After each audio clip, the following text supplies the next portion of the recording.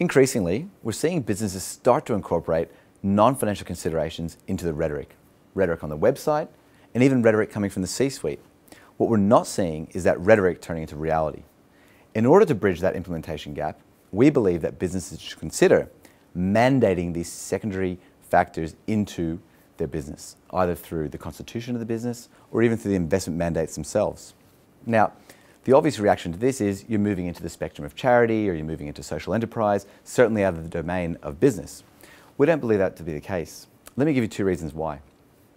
The first is a consultancy I undertook in uh, the Middle East, where a sovereign wealth fund had imposed on it by the government a, a portfolio where they had to achieve food security outcomes as well as a minimum return.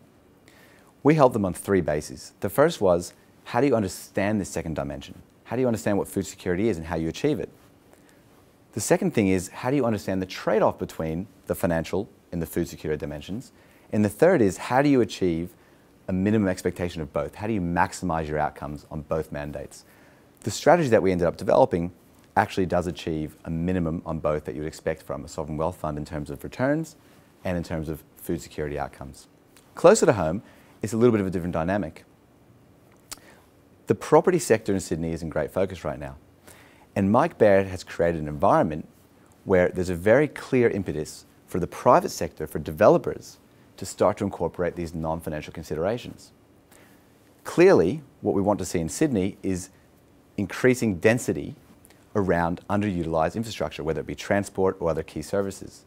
Through this clear mandate given by the government, private sector developers are now incorporating these non-financial considerations into the way they do business. And we're even seeing some mandated into their strategy.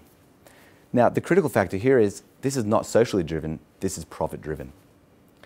At the University of Sydney Business School, what we're focusing on is how this can best be done by engaging both stakeholders from the government and other uh, socially driven stakeholders and the private sector who have a purely profit focus.